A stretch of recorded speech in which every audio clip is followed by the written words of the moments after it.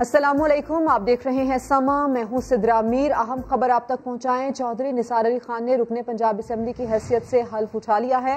अहम खबर, चौधरी निसार ने रुकने पंजाब असम्बली की हैसियत से हल्फ उठा लिया है। अब से कुछ देर पहले वो पंजाब असम्बली पहुँचे थे। इससे पहले भी वो पंजाब असम्बली आए थे, लेकिन उन्होंने हल्फ नहीं उठाया था। और इस मौके पर सेक्रेटरी पंजाब असम्बली मोहम्मद अली खान ने यह कहा था कि आपने जो हल्फ उठाया है, आपके खिलाफ दायर पिटिशन का स्टेटस चेक कर लिया गया है। आपके हल्फ उठा सकते हैं, कोई कानूनी रुकावट नहीं है। अब चौधरी निसार ने पंजाब असम्बली में हल्फ उठा लिया है। अपनी इंतहाई सलाहियत और वफादारी के साथ। इस्लामी जमहूरियत पाकिस्तान के दस्तूर कानून और असम्बली के कायद के मुताबिक।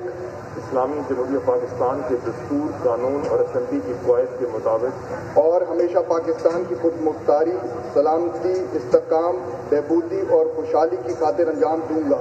और हमेशा पाकिस्तान की खुद मुख्तारी सालमियत इसकाम बहबूदी और खुशहाली की खातिर अंजाम दूँगा। कि मैं इस्लामी नज़रिया को बर, बरकरार रखने के लिए कोशा रहूँगा।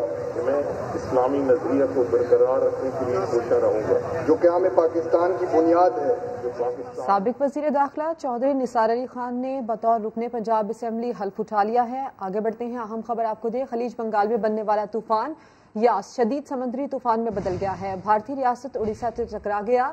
मगरबी बंगाल में तबाही फैल गई है।